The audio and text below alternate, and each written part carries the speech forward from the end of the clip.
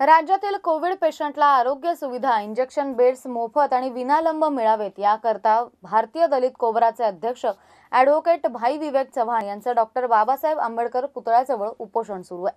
लोक उपासमारीने आहेत पुरेशा आरोग्य सुविधा मिळत नसल्यानं लोक मरत आहेत.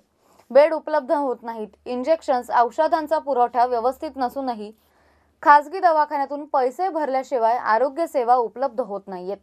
त्या कारणासाठी शासनानं ह्या दवाखान्या ताब्यात घेऊन सर्व सुविधा नागरिकांसाठी मोफत उपलब्ध करून द्यायला हव्यात.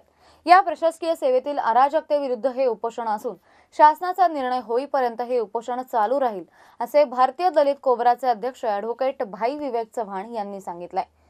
अशा लाटेमध्ये लोक आजाराने आणि करोनाने जर मेले असते तर आपण समजू शकलो असतो.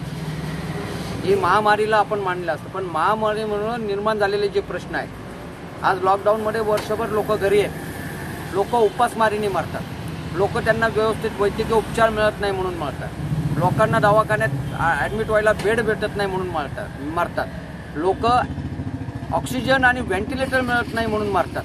आणि जर या राज्याची जबाबदारी इथल्या प्रत्येक नागरिकांना आरोग्य सुविधा सुलभ आणि मोफत देण्याची असताना खाजगी दवाखाने या सरकारने उभे करून लाख लाख दीड दीड लाख रुपये भरल्याशिवाय जर लो- इथल्या नागरिकांना ॲडमिटच केलं जात नसेल त्यांना उपचारच केले जात नसतील आणि लोक जर रस्त्या रस्त्यावर ॲम्ब्युलन्समध्ये दवाखान्याच्या बेडवर या राज्यामध्ये तडफडत मरत असतील तर मी चाळीस वर्षापूर्वी डोक्याला कपन बांधलं होतं इथल्या माणसांच्या संरक्षणासाठी.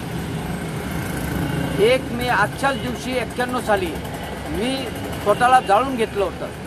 या देशातल्या अमानवीय कृतीच्या विरोधामध्ये आणि आज या महाराष्ट्राचा स्थापना दिनाच्या दिवशी आपण महाराष्ट्रातील सर्वच जाती धर्माच्या नागरिकांसाठी सर्व स्तरात वर्गाच्या नागरिकांसाठी या सरकारने संविधानिक जे कर्तव्य आहे ते कर्तव्य म्हणजे या देशातल्या या राज्यातल्या नागरिकांना त्यांनी मोफत आरोग्य सुविधा दिली पाहिजे. त्यासाठी खाजगी दवाखाने यांनी ताब्यात घेतले पाहिजेत खाजगी दवाखान्यावर नियंत्रण ठेवले पाहिजे आणि मोठा चॅनल असो नाही तर छोटा पेपर असो या सर्वच आमचे पत्रकार बंधूंनी या कोरोना आणि लॉकडाऊनमध्ये जनजागृती करून सरकारला आणि नागरिकांना सहकार्य केलं. तर या पत्रकार बंधूंना कायदा सुव्यवस्था राखण्यासाठी आमचे पोलीस कर्मचारी असतील सफाई कर्मचारी असतील डॉक्टर असतील या सर्वांना आपली ड्युटी बजावत असताना जवळजवळ या राज्यामध्ये एकशे एक पत्रकार गेले. हजारो पोलिसांना आपले जीवन गमवावं लागलं. डॉक्टर नर्सेस सफाई कामगार गेले. आणि यावेळेस मागच्या वेळेस आम्ही त्यांना सांगितलं होतं. त्यावेळेस सरकारने आम्हाला सांगितलं होतं की पत्रकार पोलीस कर्मचारी सफाई कामगार डॉक्टर नर्सेस यांना आम्ही विम्याचं संरक्षण देऊ. परंतु त्याची अंमलबजावणी केली नाही. या राज्यामध्ये आरोग्य व्यवस्था संपलेली आहे.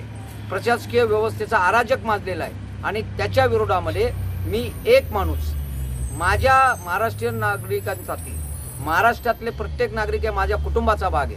आणि त्यांच्यासाठी मी माझ्या लोकांच्या माझ्या कुटुंबाच्या माझ्या महाराष्ट्राच्या आरोग्यासाठी आज महामानव डॉक्टर बाबासाहेब आंबेडकर यांना अभिवादन करून या ठिकाणी बेमुदत उपोषण ठेवलेलं आहे. आणि हे उपोषण या मागण्यांच्या संदर्भामध्ये सरकारने त्यांची श्वेतपत्रिका आणि त्यांचा